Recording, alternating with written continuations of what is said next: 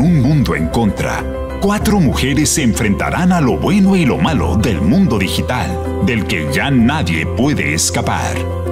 Televisa presenta Vencer el pasado. Cada una tendrá que lidiar con un pasado que no pueden borrar, pues se quedó grabado y publicado para todos en el mundo digital.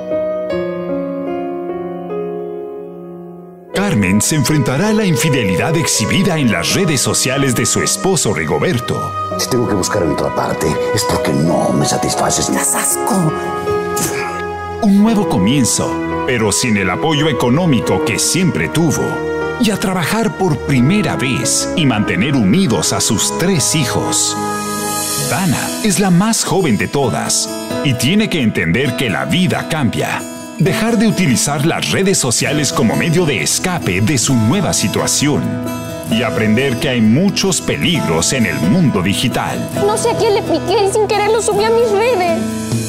Mariluz sufrirá el rechazo de su familia y el repudio de todo el pueblo. ¿Qué te gusta portarte como una golfa? Mejor ve. Gracias a unas fotos íntimas que publicó su novio, huirá a la capital en donde nadie la conoce para empezar una nueva vida estudiando y trabajando. ¡Todo lo hice por amor! Y Renata, que sufrirá el linchamiento digital gracias a una trampa y unas fotos el día de su despedida de soltera. ¿Cómo pudiste verme la cara de imbécil, Renata? Su prometido no solo cancelará su boda, sino que también se robará un proyecto en el que ella trabajaba.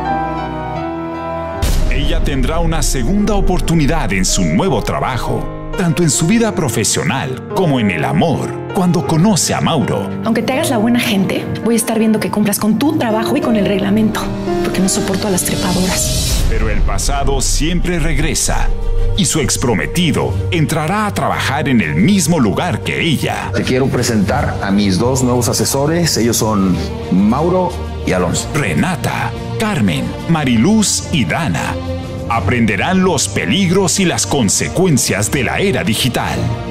Y juntas, llenas de fortaleza, mirarán al futuro para vencer el pasado. Si hemos logrado vencer el miedo y vencer el desamor, ya es tiempo de que juntas y unidas nos decidamos a vencer el pasado con la frente en alto. Angelique Boyer, Sebastián Rulli, Horacio Pancheri, Erika Buenfil, África Zavala, Ferdinando Valencia y un gran elenco. Vencer el pasado. Una producción de Rocio Campo.